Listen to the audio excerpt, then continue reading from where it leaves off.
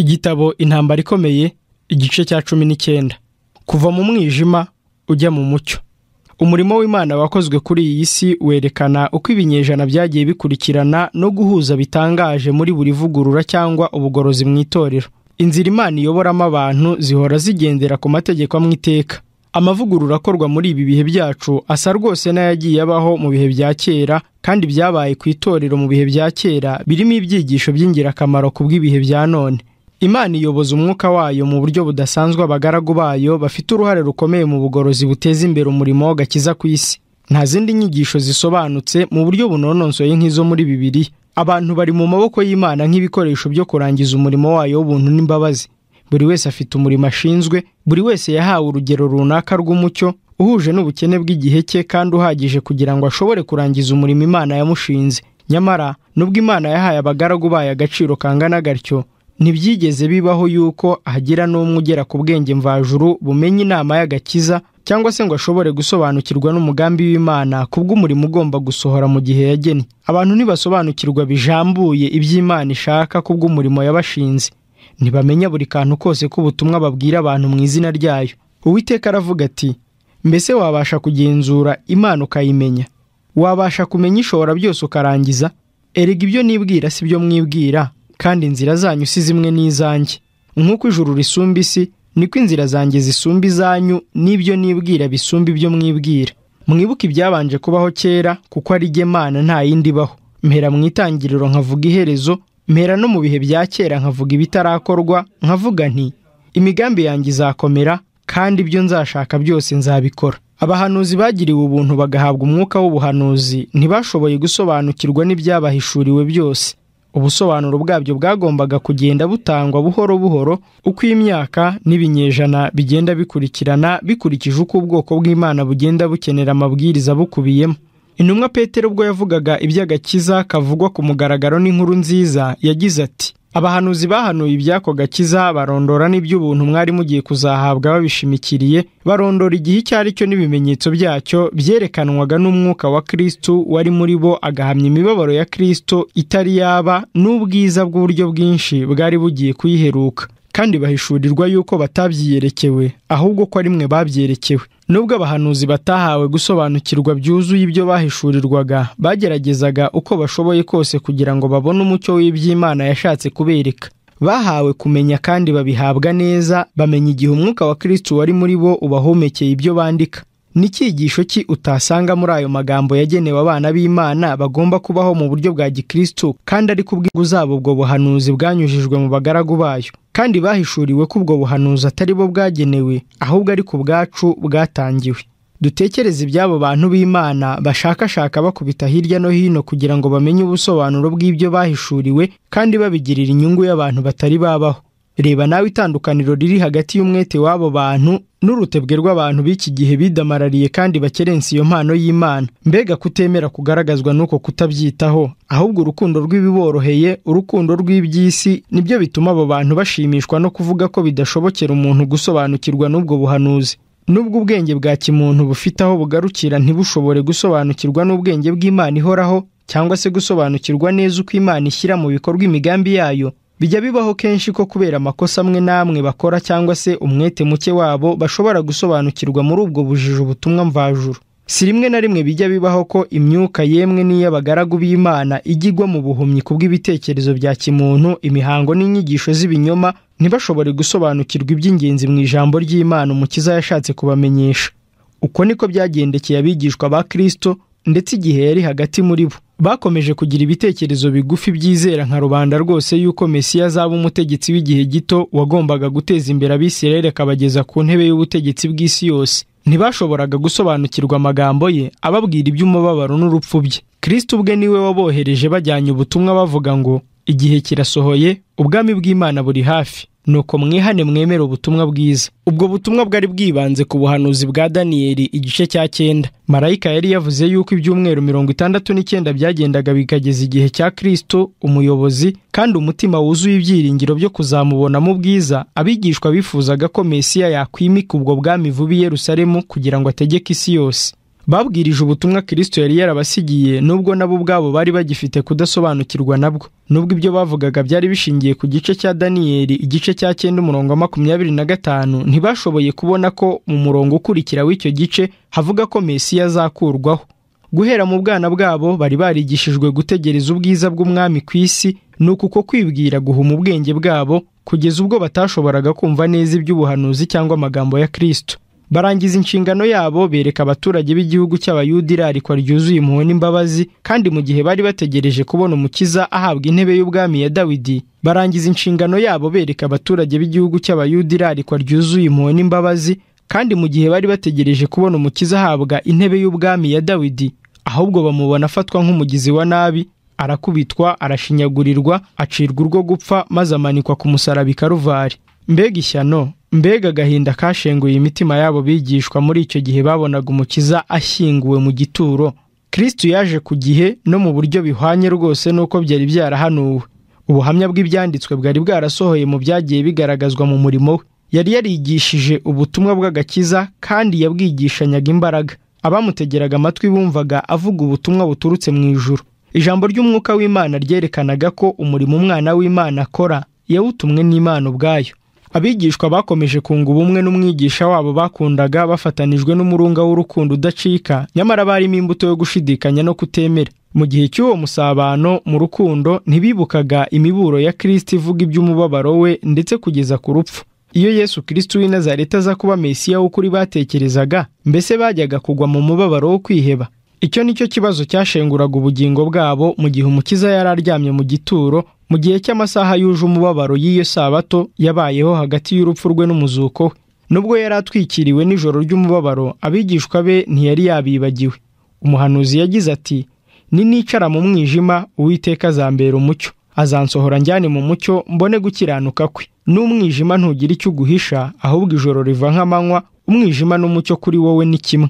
Abatunganye umucyo ubavira mu mwijima. Impumyi nzaziyobora inzira zitazi nzinyuze mu tuyira zitigeze kumenya. Umwijima nzawuhindura umucyo imbere yazo n'ahagoramye nzahagorora.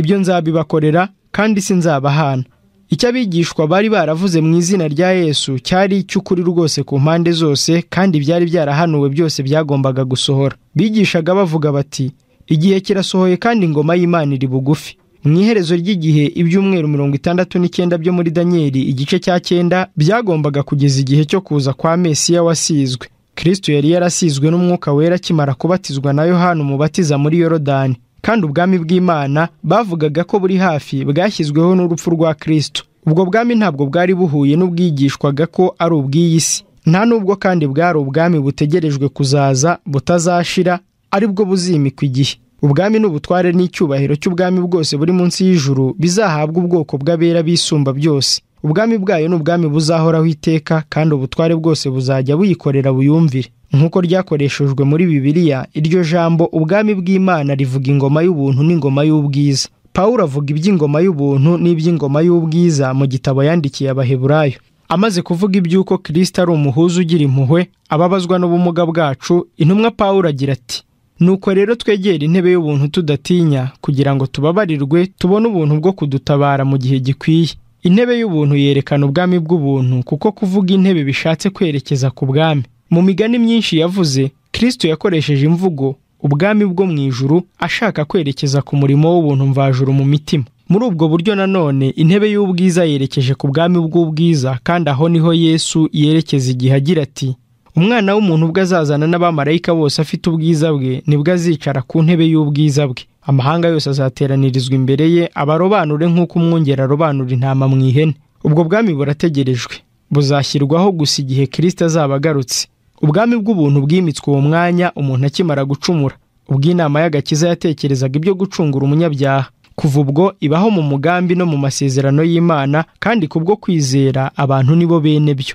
Nyamara bwabayeho mu by'ukuri ku mugaragaro igihe kirisito yapfiraga ku musaraba. Umukiza yashoboraga nubwo yari yaratangiye umurimo wamuzanye ku isi arambiwe no kwinangira imitima no kudashima by'abantu gusubira inyuma ntiyemere kuba igitambi karuvari ari Getsemani ukuboko kwe kwahinze umushyitsi ubwo kwari guteruye igikombe cy'umubabaro gishyizwe imbere ye. Yashoboraga nabwo kwihanagura ibyuya by'amaraso byatembaga mu maso ye maze akareka abanyabyaha bakarimbukira buheriheri mu byaha byabo. Iyo ajya gukora atyo gucungurwa kw'abantu bacumuye ntikuba kwarashobotse na mba. Ariko ubwo umukiza yemeraga gutanga ubugingo bwe maze agataka agira ati byose birarangiye. Inama y'agakiza yari igeze ku mugambi wayo. Isezerano ryo gucungurwa ryahawe ababyeyi bacu ba mbere mu murima wa edeni rirasohozwa. Ubwami bw'ubuntu bwari bwarabayeho mbere hose mu masezerano y'imana bwashyizwe mu bikorwa.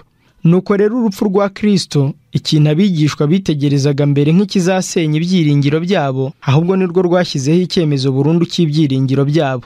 Nubwo ko ari kwatumye bacika intege kubwo kwibwira ko bibeshye ahubwo kwari igihamya gihebuje cy'uko kwizera kwabo gufite ishingiro. Ikintu cyabayeho kigatuma bagira agahinda no kwiheba ahubwo ni cyo cyafunguye inzugi z'ibyiringiro zifunguriwe umuntu wese ukomoka kuri adamu ari we byiringiro byose by'ubugingo bw'ahazaza n'umunezero w'iteka ryose uzahabwa abagaragu b'indahemuka b'imana babayeho ibihe byose.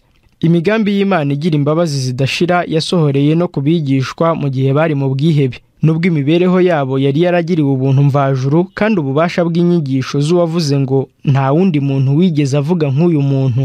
Muri bo hari imvange z'urukundo bari bafitiye yesu bakanagira umutima wo kwishyira hejuru no kurarikira bya kimuntu. Mu cyumba aho yesu yasangiriye nabo ibya pasika kuri iyo saha ubwo ibimenyetso by'ibyari bigiye kubaho igetsemani byagaragaraga ku mwigisha habyutse impaka muri bo mu bigishwa bashaka kumenya ngo ninde muri bo ukwiriye gutekerezwa ko ari we mukuru?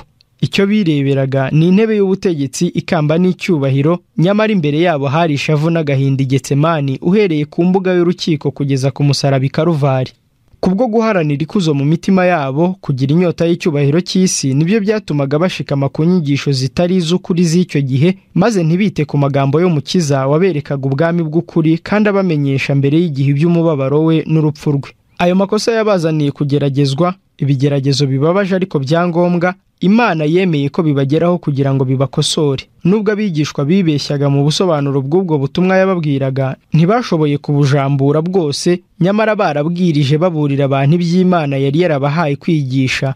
Kandi umukiza yifuzaga kubashimira kwizera no guha agaciro kumvira kwabo.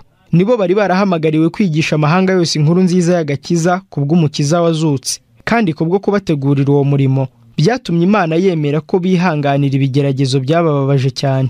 Nyuma y'umuzuko yesu yabonekeye babiri mu bigishwa be mu nzira igana emawusi maze atangirira kuri mose no ku bahanuzi bose abasobanurira mu byanditswe byose byanditswe kuri we. Umutima w'abigishwa urakanguka. Kwizera kwabo kurahembuka bongera kugira ibyiringiro bishikamye nubwo yesu yari atarabibwira. Umugambi we wari uwo kumurikira ubwenge bwabo no gukomeza kwizera kwabo gushingiye ku ijambo ry'abahanuzi rishikamye mu kuri. Yashakaga ko ukuri gushinga imizi mu bitekerezo byabo bidatewe n'uko gusa babwiyibye ku giti cye ariko ahubwo ibihamya bigaragara byerekanwa n'ibimenyetso n'ibyanditswe mu mategeko ndetse n'ubuhanuzi buvugwa mu isezerano rya kera. Byari ngombwa ko abigishwa ba yesu bagira kwizera k'ubwenge kandi kutabafitiye akamaro ubwabo gusa ahubwo kubashoboza kwamamaza inkuru nziza ya kirisito mu isi yose. Kandi intambwe ya mbere muri uko gushaka kumenya. Yesu yibukije abigishwa be ibya Mose n'abahanuzi bose. Uko niko umukiza wazutse yabahamirije ashimangira agaciro k'ibyanditswe mu isezerano rya kera. Mbega ihinduka ryabaye mu mitima y'abigishwa ubwo bongeraga kubona mu maso y'umwigisha wabo bakundaga? Mu buryo bwuzuye kandi bwumvikana neza kurusha mbere bari barabonye uwo Mose yanditse mu mategeko kandi wavuzwe n'abahanuzi. Gushidikanya agahinda kwiheba bibererekera kwizera kutagira gushidikanya. Nta gitangaje rero kubabona mu rusengero Yesu amaze kuzamurwa mu ijuru. Bari hamwe iteka mu rusengero bahimbaza kandi bashima imana. Abantu nta kindi bari basobanukiwe. Uretse kubona urupfu rw'agashinyaguro umukiza wabo yapfuye bitegerezaga ku maso y'abigishwa ngo barebe ko bafite umubabaro gushoberwa no gutsindwa. Ariko babasomyemo ahubwo ibyishimo no gutsinda. Ni mwiteguro ki abo bigishwa bari barabonye ku bw'umurimo wari ubategereje? Bari baranyuze mu kigeragezo kiremereye bashoboye kwihanganira kandi bari barabonye uburyo mu maso ya kimuntu byose byahindutse igihombo nyamara ijambo ry'imana ryari ryabonye intsinzi ikomeye. Kuva ubwo ni iki cyajyaga kuzimya kwizera kwabo cyangwa ngo gikonjeshe urukundo rwabo? Muri iryo shavu n'agahinda bari bahawe guhumurizwa gushikamye ibyiringiro bimeze nk'igitsika umutima ukomeye. Bari bariboneye n'amaso yabo ubwenge n'ubushobozi by'imana kandi bari biringiye rwose ko nta cyabatandukanya na yo naho rwaba urupfu cyangwa ubugingo cyangwa abamarayika cyangwa abategeka cyangwa ibiriho cyangwa ibizaza cyangwa abafite ubushobozi bitazabasha kubatandukanya n'urukundo rw'imana ruri muri kirisito yesu umwami wacu. Oya ahubwo muri ibyo byose tugatsinda kakahava tubikesha uwadukunze. Ijambo ry'uwiteka rihoraho iteka ninde uzaziciraho iteka ni kirisito yesu kandi ari we wazipfiriye ndetse akaba yarazutse ari iburyo bw'imana dusabira umukiza aravuga ati ubwoko bwanjye ntibuzongera gukorwa n'isoni ukundi. Kurira kwararira umuntu nijoro ariko mu gitondo impundu zikavuga. Igihe wa munsi wo kuzuka abo bigishwa babonye umukiza wabo kandi mu mitima yabo bashimishijwe no kumva amagambo ye. Ubwo bitegerezaga umutwe we ibiganza bye n'ibirenge bye byari byarakomerekejwe ku bwabo. Igihe mbere yo kujya mu ijuru yesu yabayoboye akabageza i betelehemu maze akarambura ibiganza bye hejuru kugira ngo abahe imigisha yarababwiye ati mujye mu bihugu byose mwigisha abaremwe bose ubutumwa bwiza. Yongeraho ati dore ndi kumwe namwe iminsi yose. Igihe ubwo hari ku munsi wa pantekote umuhumuriza wasezeranwe yabamurikiraga maze ububasha mvajuru bakabuhabwa imitima y'abamwizera bose igakomezwa kubwo kumenya nta gushidikanya ko umukiza wabo babonye ajya mu ijuru akiri kumwe n'abiteka. Nuko rero nubwo inzira yabo yarimo kwitanga nk'uko iya shebuja yari imeze ndetse ikaganisha ku kubura ubuzima bazira kwizera kwabo ntibajyaga guhindura umurimo bahamagariwe wo kwamamaza inkuru nziza y'agakiza kubw'ubuntu no kuzahabwa ikamba bazambikwa ubwo azaba agarutse ngo babigurane icyubahiro cy'isi cyari cyarabaye ibyiringiro byabo mu gihe cy'umugabane wa mbere babanye na Kristo nk'abigishwa. Ufite ubushobozi bwo kudukorera ibirenze ibyo tumusaba ndetse n'ibyo twibwira yari yabahaye binyuze mu mubabaro we ubusabane mu byishimo umunezero wo kurarika abana b'imana benshi kuza mu bwiza umunezero utarondoreka ubwiza bw'iteka ryose ari bw'intumwa Pawulo avuga ati ntawabugereranya n'umubabaro wacu w'iki gihe w'agahe gato. Ibyo abigishwa bamenye kubwo kubwiriza ubutumwa bwiza bw'ubwami mu gihe cyo kuza kwa Kristo bwa mbere bifitanye isano n'ibyo abazavuga ubutumwa bwo kugaruka kwe. Nk'uko abigishwa bahagurutse bakajya kwigisha bati igihe kirasohoye kandi ubwami bw'imana buri hafi. Uko niko mira na bagenzi be babwirije ko igihe kirekire kandi giheruka cy'ubuhanuzi bwanditse muri bibiliya kigiye kurangira kandi ko urubanza rwegereje ubwami bw'iteka ryose bugiye kwimikwa. Ibibwirizwa by'abigishwa bivuga iby'igihe byari bishingiye ku byumweru mirongo irindwi nk'uko byanditswe muri daniyeli igice cya cyenda. Ubutumwa bwavuzwe na mira na bagenzi be bwavugaga iherezo ry'iminsi ibihumbi bibiri magana atatu nk'uko byanditswe muri daniyeli ibice umunani umurongo wa cumi na kane ikubiyemo n'ibyumweru mirongo irindwi.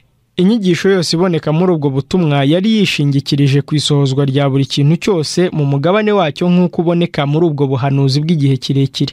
Nk'uko abigishwa ba mbere bari bameze mira na bagenzi be nabo ntibasobanukiwe by'ukuri by'ubutumwa bigishaga. Amakosa yabagaho kuva kera kose mu itorero yababereye inzitizi yo kugera ku busobanuro bw'ukuri bw'ingingo y'ingenzi y'ubwo buhanuzi. Nizo mpamvu nubwo bavuze ubutumwa imana yari yabahaye ngo babubwire isi yose bakoze ikosa mu busobanuro bwabwo maze bacika intege kubwo kubona ko bibeshye. Mu gusobanura ibyanditswe muri daniyeli igice cya munani umurongo wa cumi na kane havuga ngo bigeze iminsi ibihumbi bibiri na magana atatu uko bukeye bukira nyuma ubuturo bwera buzabone kwezwa. Mira nk'uko babivuze yagize kwizera kwari mu bantu muri rusange y'uko isi ari ubuturo bwera maze yibwira ko kwezwa k'ubuturo bwera byari byerekeje ku kwezwa kw'isi yejejwe n'umuriro ubwo umukiza azaba agarutse. Ku bw'izo mpamvu rero amaze kumenya y'uko iminsi ibihumbi bibiri magana atatu yashyizweho mu buryo bwuzuye ahera ko atanga umwanzuro y'uko iyo tariki yemeza kugaruka kwa Kristo. Ikosa rye ryakomotse kubwo kwemera ibyo rubanda bizeraga ku buturo bwera. Mu buryo bw'igereranya bwari ishusho y'igitambo no gutamba kwa Kristo. Kwezwa k'ubuturo bwera byari umurimo uheruka usohozwa n'umutambyi mukuru rimwe mu mwaka. Wari umurimo wo kwezwaho ibyaha gukurwaho cyangwa gukizwa icyaha ku bwoko bw'abisirayeli. Byashushanyaga umurimo uheruka umutambyi mukuru azasohoza mu bwami bwo mu ijuru. Gukurwaho cyangwa gukizwa ibyaha ku bwoko bwe ibyaha byagiye byandikwa mu bitabo byo mu ijuru. Icyo gikorwa gikubiyemo umurimo wo kugenzura umurimo wo guca imanza kandi bibanziriza kugaruka k'umukiza ku bicu byo mu ijuru afite icyubahiro n'ubwiza kuko igihe azaza buri gikorwa cyose cya buri muntu kizaba cyaragenzuwe. Yesu yagize ati dore ndaza vuba nzanye ingororano kugira ngo ngororere umuntu wese ibikwiye ibyo yakoze. Uwo murimo wo guca imanza ubanziriza kugaruka k'umukiza uvugwa mu butumwa bwa marayika wa mbere mu byahishuwe cumi na kane umurongo wa karindwi ngo nimwubahe imana muyihimbaze kuko igihe cyo gucira abantu urubanza gisohoye. Abamamaje ubwo butumwa bw'imbuzi babubwirije mu gihe cyagenwe kandi gikwiye. Nk'uko abigishwa bigishije bagira bati igihe kirasohoye kandi ubwami bw'imana buri hafi. Ubutumwa bwari bushingiye ku byanditswe muri daniyeli igice cya munani umurongo wa cumi na kane n'ibyahishuwe cumi na kane umurongo wa karindwi batamenye ko ari ikibazo kireba nanone ubundi butumwa bwanditswe mu gice cya cumi na kane cy'ibyahishuwe ubutumwa nabwo bugomba kwigishwa mbere yo kugaruka k'umukiza.